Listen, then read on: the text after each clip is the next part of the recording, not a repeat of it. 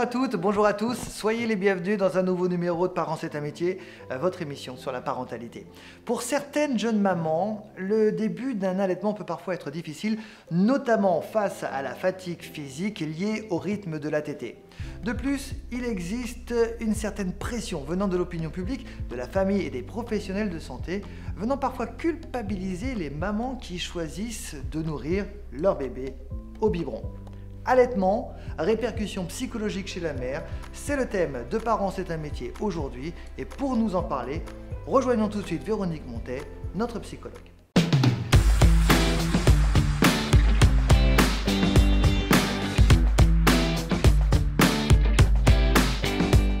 Bonjour Véronique. Bonjour Guillaume. Sois la bienvenue dans un nouveau numéro de Parents c'est un métier. Est-ce que tu vas bien? Très bien, toi? Ça va très bien, Euh, je te remercie. On va parler de l'allaitement.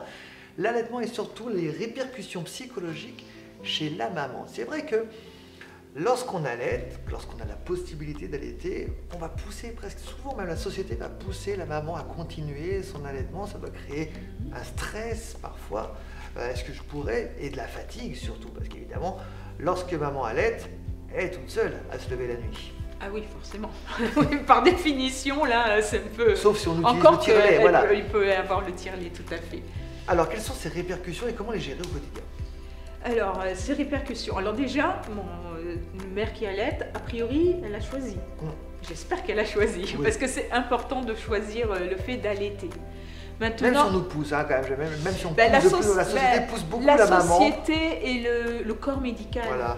posent euh, par rapport au colostrum, le, Voilà, le exactement. fait que ça apporte Et que l'Organisation mondiale de la santé, l'OMS, incite euh, largement, mais c'est pas tout le temps le cas. Il faut pas non plus. Alors moi, c'est la question que je me pose. Il Oui. faut pas non plus culpabiliser ces femmes qui ne peuvent pas ou qui ne veulent ou pas. qui ne veulent pas, tout à fait. Non, on a la chance, oui, on a la chance de vivre dans une société où on est libre et où Mhm. on peut choisir le fait d'allaiter ou pas.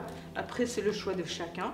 Et quand on a choisi, il faut être à l'aise avec ça. Alors justement, a on a choisi. On a choisi On a cette répercussion maintenant, la fait. fatigue, liée à la fatigue souvent, et même euh, Bah, à à certaines moment douleurs, donné, crevasses. À un moment, oui, tout à fait, tout à fait, oui, oui, c'est quand même, euh, même si c'est un lien privilégié, c'est quand même quelque chose de très agréable. Mhm. C'est quelque chose de, de- de fusionnel avec l'enfant, c'est le corps à corps, c'est vraiment la chaleur maternelle que l'on retrouve dans d'autres circonstances, mais là c'est particulier. Effectivement, euh, c'est difficile de s'en détacher en fait. Mais à un moment donné, on a mal. Et ça dure, ça perdure. Et là, le plaisir fait place au déplaisir. Donc une maman qui commence à souffrir, qui commence à sentir ça comme une, une corvée, même si, enfin une corvée, en tout cas une douleur pour elle, ben, je ne sais pas si c'est aussi bon pour, que pour l'enfant. Qui finalement, l'enfant, au bout d'un moment, va devoir être sevré. Il va passer à la, euh, la nourriture solide, à autre chose. Donc je pense que la nature est bien faite à ce niveau-là. Donc dans ce, dans ce cas-là, il faut s'écouter. La mère ne doit pas euh, se dire, bon, de tel âge à tel âge, je dois allaiter. Parce qu'on me l'a dit, c'est, bon là, je ne supporte plus, ça me, ça me fatigue, donc j'arrête, on va passer à autre chose. Et Quel est le rôle du père par rapport à ça? Est-ce qu'il doit encourager maman justement le dans père, ses choix? Le père euh, euh, respecte le choix. Il n'a pas besoin d'encourager, c'est bien ma femme, tu fais ce que tu veux. Enfin bref, c'est juste être là Mhm. et être respectueux de ça. Et puis il faut bien. On parle de répercussions euh, psychologiques. J'arrive pas à dire Psychologique. c'est un peu grave.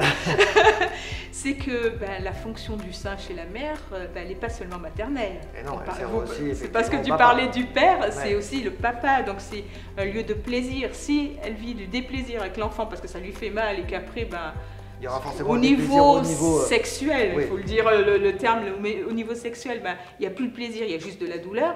Ça atteint quand même une sphère de la vie assez large. Le couple, etc. Le Donc, couple, Donc ça remet en cause toute la triade. Donc vraiment, il faut s'écouter. Donc il faut fait un s'écouter, choix, on on fait un choix voilà. et on s'adapte aux circonstances. Voilà, parce qu'on euh, surtout quand on est jeune parent, on on n'imagine peut-être pas tout ce que cela peut engendrer. On se dit, je vais faire Oui, bien pour voilà. mon enfant, Oui. puis on se rend compte au fur et à mesure, très rapidement parfois, que Mhm. bah, c'est pas vraiment le choix qu'on pourra. Bah, après, on s'adapte, après, on peut changer d'avis. Mm. C'est comme dans la vie, on peut changer d'avis. Et puis, de toute manière, l'enfant va grandir. Donc, il va, il va se détacher, il va se détacher de, de, de- de la maman. Et puis, pour le bien-être aussi de la triade, de la famille, c'est-à-dire enfant, papa et maman. Et, les, Voilà. les Et on peut pas, voilà. Donc oui, allaiter, tant que ça vous, ça vous Tant procure qu'on- de, voilà, du plaisir, du plaisir, alors, du plaisir avec son enfant, évidemment. mais aussi effectivement fa- assurer la présence du père dans cette, dans cette relation très Ah, alors, particulière. ju- justement, et ce sera vraiment le mot de conclu. D'accord, on va conclure là-dessus. Parce Oui. que on se pose aussi la question, lorsqu'on est maman, qu'on a justement ce plaisir d'allaitement, qu'on a envie de continuer et qu'on a le pouvoir d'a- d'a- d'a- d'allaiter son enfant, parfois le papa est un petit peu exclu du coup parce qu'il n'a pas ces- tous ces moments privilégiés euh, Mhm. que peut avoir euh, la maman, notamment la nuit pour euh, tout ce qui est biberon, etc., etc. Comment intégrer le papa?